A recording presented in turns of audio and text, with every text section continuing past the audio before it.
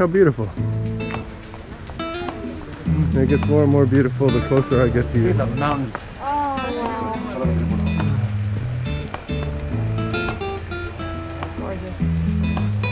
that was cheesy.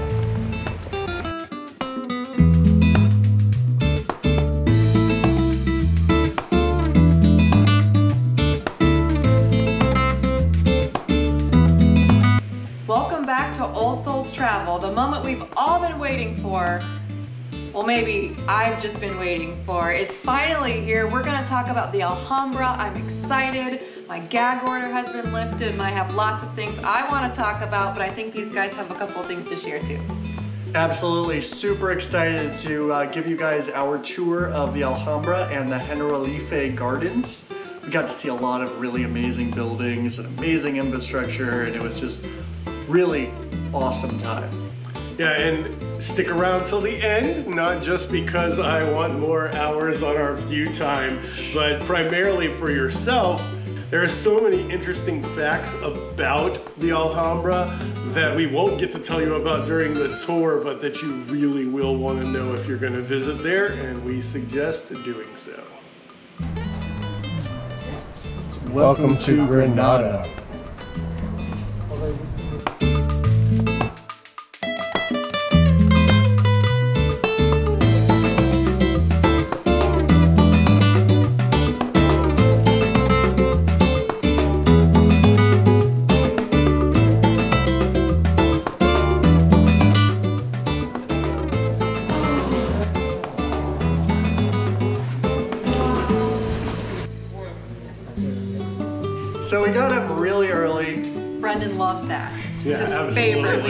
Up really early, right, Brendon?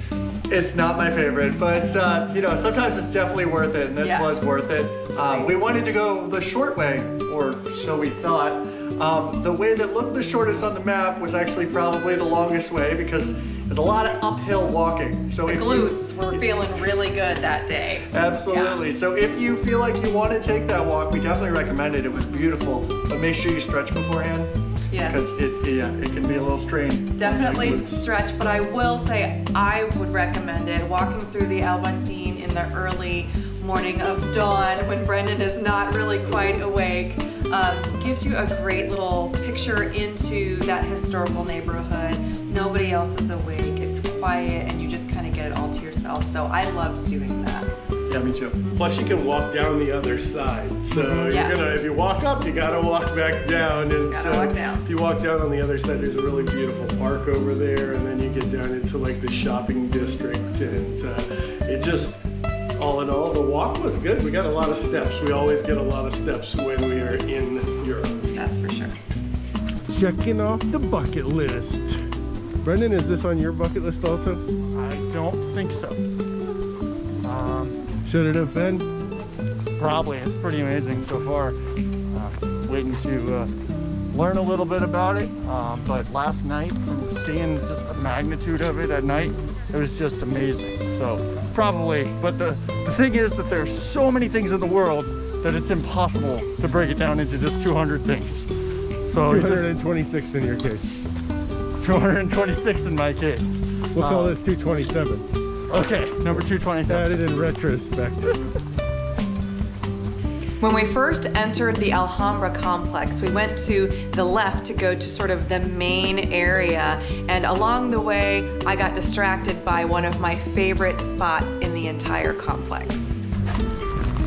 Buenos dias. We're in the Jardines de San Francisco, and this is like breathtaking. It's not the lavish garden that you're used to when you go into some of the botanical gardens that we see in modern day, but it's just absolute perfection. As you look around, it's just really simple and relaxed, and you know you can definitely see yourself even today coming out and just laying among the roses, picking a fresh pomegranate for your breakfast, and maybe sitting under the tree and listening to the water And after the gardens, the next big thing that you see was actually one of my favorites. It was the palace of Carlos V or Charles V, depending on who you ask. And it's actually really cool because it's not Arabic. it actually is a Renaissance building. And what happened was the grandson of Ferdinand and Isabella actually came to the Alhambra and fell in love with it. And he's like, you know what, I want to build a palace right next to it so that I can see it every day. Really awesome building. It's got two stories.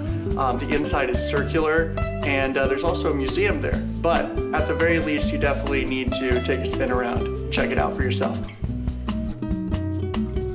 And after we spun around Carlos's beautiful Renaissance building, we still had time before our appointment to go see all of the palaces because they limit the amount of people that are allowed to go in there at one time. So make sure you get a reservation time in advance because they do sell out.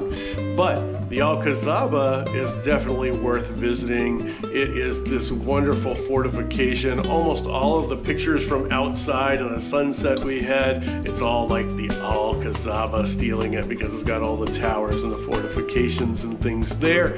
And just as you come in, you've got to go through this really cool big arch. And off to the side, make sure you don't miss the inscription because I kind of like it. It roughly translates as give the blind guy some money because it's like the worst thing in the world to be blind in Granada. And I kind of agree with that because the views there are absolutely magical.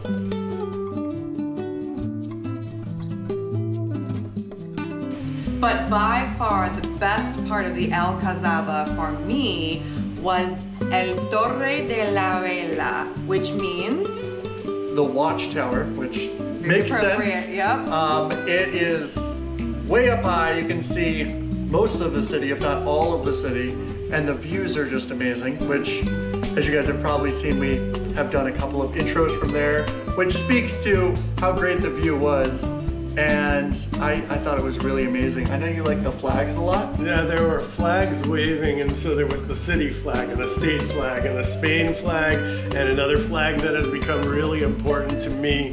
I really like so many things about what UNESCO is doing to protect these spots. It's probably my second favorite UNESCO site of all time thus far. We are going to 390 more. So we'll see if this one can get supplanted for the silver or if Angkor Wat somehow can get supplanted from the gold medal in my heart. But uh, big shout out to UNESCO. You guys do some great things.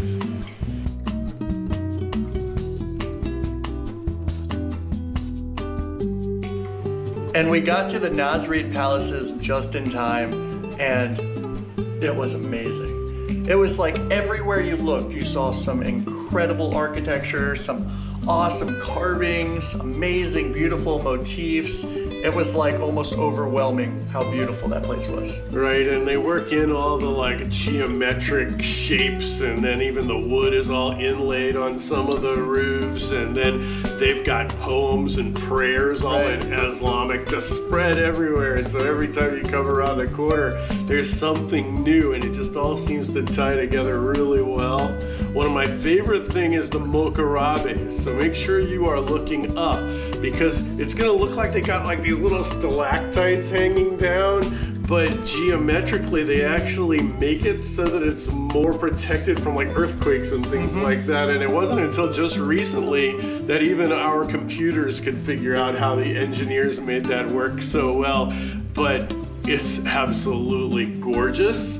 There's all sorts of really iconic things to see there. One of them you have to stop by because it is this beautiful reflecting pool and it is in the patio of the Myrtles. So this is the palace of the last caliphs in Granada before the Reconquista.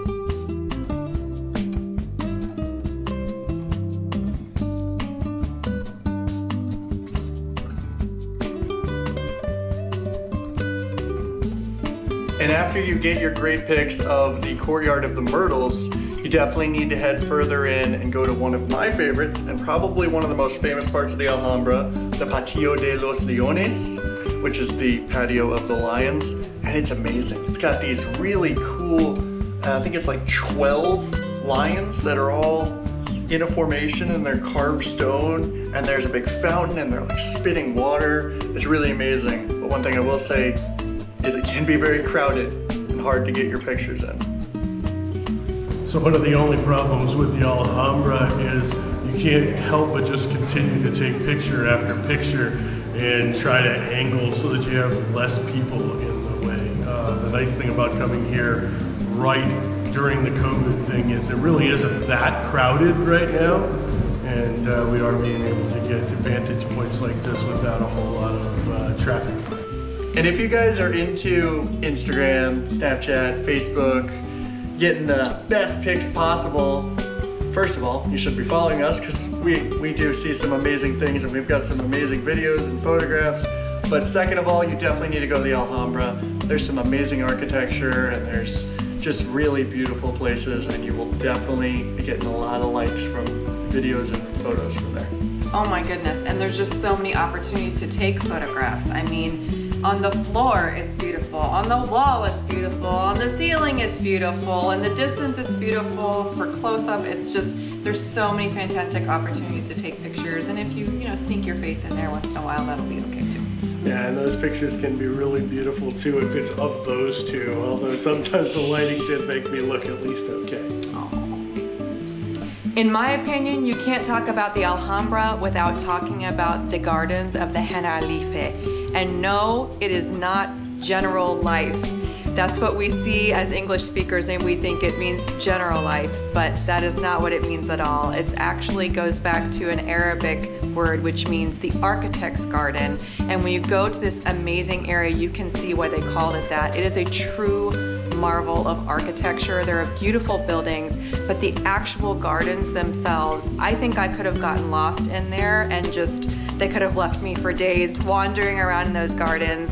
It's pebbled with these beautiful white and black mosaics throughout the entire garden complex. There are three terraces, and two of the terraces are the lower terraces, were mostly used for vegetable and fruit production, which they still use today. Uh, the more recent gardens is the upper terrace, which has those beautiful mosaics, gorgeous fountains, roses, all kinds of amazing, gorgeous flowers that will just overwhelm your senses. And that was created most recently in 1951. But what strikes you as you look at all of these beautiful flowers is where did all the water come from? It's a true marvel and really causes you to wonder. Everything that we saw at the Alhambra was impressive, but probably the most impressive thing was all the water. Not only because of the beautiful fountains and everything, but just having water there was amazing because there isn't water there and there wasn't a way to go down into this giant rock that you're building your fortification on. So what you had to actually do was you had to ship the water from this high river off to the side and they actually drilled it all the way through a mountain and then brought it over all these bridges and the gaps of the mountain and they brought it over. And that was really really cool and they still use it to this day with a little bit more modern mechanism but the water is still coming from that same river and it comes in and it feeds all these things and it shows the grandeur of the palaces. And then they also would store some of it in cisterns at the Alcazaba just in case somebody decided to shut off their water supply which is something that they had to protect as well but it's really interesting how they brought the water in. And speaking of interesting things, we promised you at the beginning that we had a bunch of interesting information and interesting facts for you. And if you've been watching, we thank you very much. Two weeks ago, we had an interesting facts about Granada, mm-hmm. and we've got some interesting facts for you today about the Alhambra as well. Fact number one Alhambra actually means the red fortress or the red castle because of the clay with the red hue that it's uh, made from. That's awesome. And also the Alcazaba, which is made from that same red clay, can actually tell the time. Hmm, how's that? It's got, it's like a sundial the tower was actually mathematically created so that it casts a shadow and it tells you what time it is so you don't lose track of that appointment you have for the castles. Fact number three. Inside of the Nasrid palaces, there's the Hall of Ambassadors, which is really cool. I mean, they have amazing tile work all over the place and the They have the Hebrew prayers on all the walls, but also on the ceiling, they have that Mocárabes, which some people think represents the seven heavens of Islam culture and God's resting on the eighth heaven, which is really kind of amazing. Yeah, that's kind of amazing, and the detail that they put into that is awesome. But they didn't only do it where you could see it all the time, they actually had all these great details in the substructure. And there's this little area down in the bottom where no secret is actually safe. They call it the Whispering Gallery. Isn't it also called the Chamber of Secrets? I hope there's no basilisks there. Yeah, I hope so too. That would be terrifying. We did not get to see it though, unfortunately. It's best to go see it on a night tour, apparently. But the reason that they call it the Whispering Gallery or the Secrets Chamber, Secrets Chamber. yeah, is that you could whisper on one side or be shuffling on one side, and the person on the whole entire other side could hear it because it was acoustically perfect.